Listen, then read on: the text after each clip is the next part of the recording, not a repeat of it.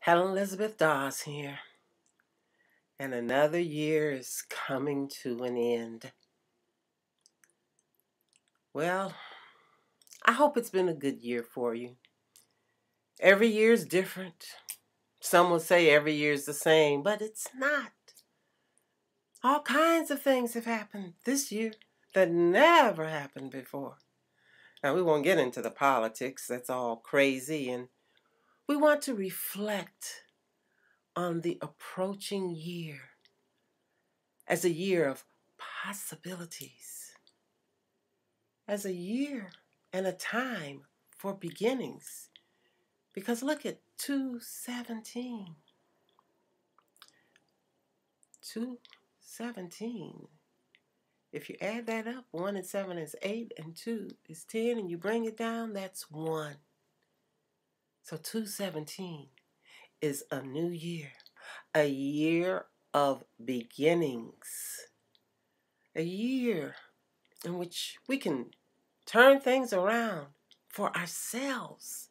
And if you turn things around for yourselves and do what you need to do for yourself, your whole world will be good. And it'll be a happy year. And the Best way to start off to have a happy year is to have a happy new year.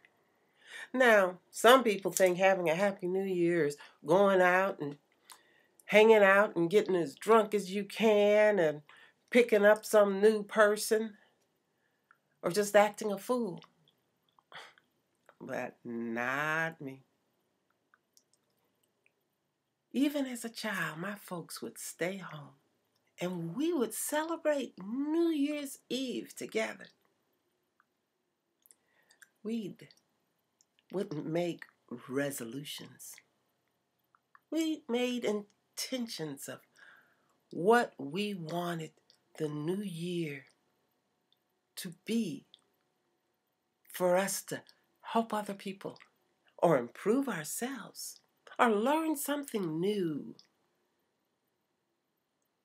and it was a good way to begin the new year. And I've kept up that habit ever since.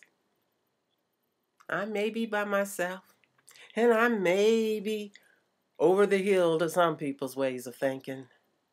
But every new year, every New Year's Eve represents a time of beginning for me. New opportunities, new things to happen, new people to meet, new things to do, even new places to go. So I'm sending you my heartfelt wishes for a happy new year.